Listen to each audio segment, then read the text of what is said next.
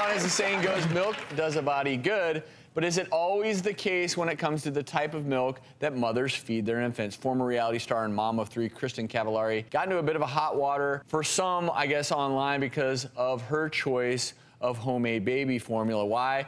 Well, I guess people were upset because the recipe included goat's milk. She said she chose the goat's milk option instead of what she called the heavily processed store-bought formula that contains glucose syrup solids. Critics did come out to say that this was a dangerous idea. I want to ask you, uh, Dr. Tanya, number one, is there any concern here? What about all this uproar that was caused by using goat's milk? So actually, I don't necessarily think it's the goat's milk. It's the fact that she was making her own baby formula.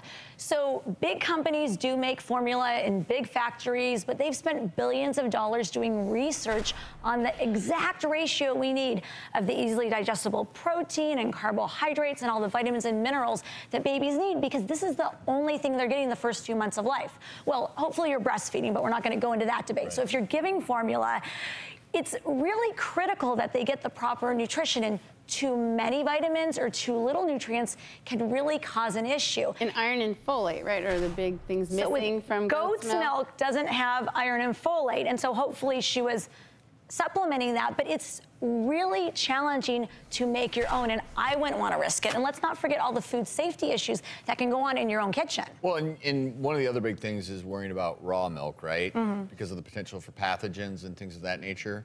Exactly, and that's where we often see a lot, a lot, of the issues. And that's why we have, the FDA has a Food Infant Safety Act specifically for formula. And so you wanna make sure that whatever formula you buy, whether it's cow's milk or soy, which is what we would actually recommend if the babies were allergic or intolerant to goat's milk. I think she said that her babies were sensitive to cow's milk but 90% of babies that are allergic to cow's milk are also gonna be allergic to goat's milk.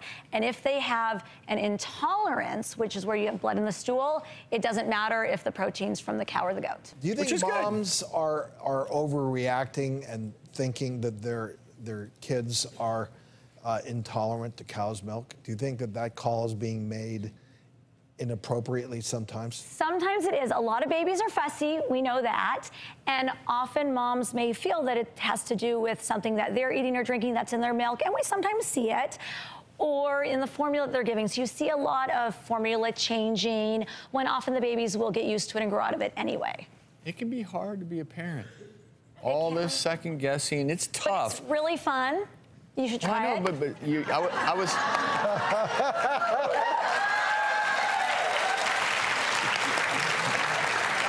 It, all, it, it, almost felt like a call to action. If, if, I just to like, walk down the lot and be like, hey. Go to the know, head of the class. I think you read that right.